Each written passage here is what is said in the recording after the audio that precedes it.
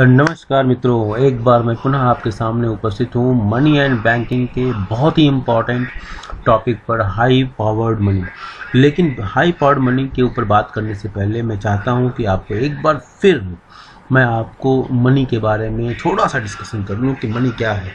Generally क्या होता है कि मनी को कोई भी चीज़ जो कॉमनली एक्सेप्ट की जाती है मीडियम ऑफ़ एक्सचेंज के रूप में, उसको हम मनी कहते हैं। और मनी हमारे के रिलेशन में मनी सप्लाई मनी सब बहुत ही इंपॉर्टेंट कॉन्सेप्ट है।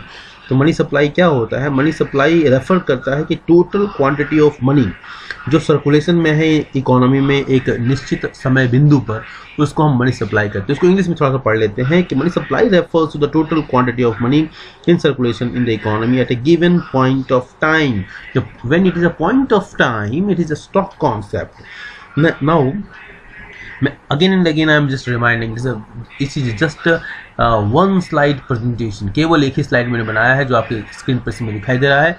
लेकिन इससे पहले मैं आपको बता दूँ आरबीआई की स्थापना कब हुई थी? फ़र्स्ट अप्रैल 1935 इसका नेशनलाइजेशन कब हुआ था? 1949 में। प्रेजेंट गवर्नर कौन है? शक्तिकांत दास जी हैं।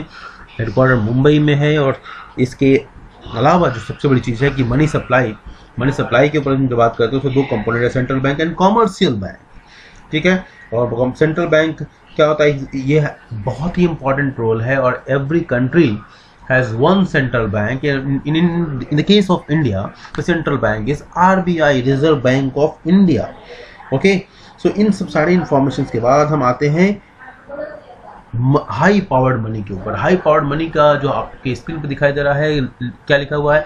Currency issued by the central bank पहले लाइन में एक क्वेश्चन और निकल के आता है currency issued by the central bank means currency issuing authority कौन है? That is central bank okay ऐसे ही पढ़ा जाता है। जब भी आप पढ़े ना तो उसमें से क्वेश्चन और फ्रेम करने का प्रयास करें। तो currency issued by the central bank can be held by the public और बाय द कॉमर्शियल बैंक तो करेंसी इशू किसके पास रखा जा सकता है? पब्लिक और कॉमर्शियल बैंक के पास।